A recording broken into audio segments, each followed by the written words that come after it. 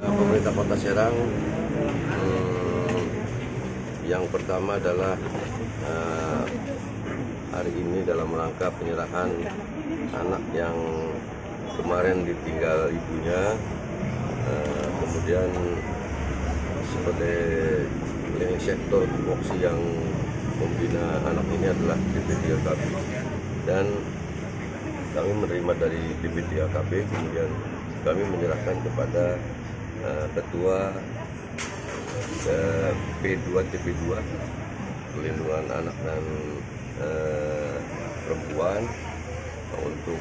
mendapat pembinaan baik fisik maupun eh, mentalnya baik eh, apa pendidikannya dan lain sebagainya. Eh, ini akan dibina oleh tim medis dan juga psikolog kemudian juga eh, dari dinas terkait baik pendidikan masalah dan masalah-masalah lain dalam waktu kurun satu bulan dan insya Allah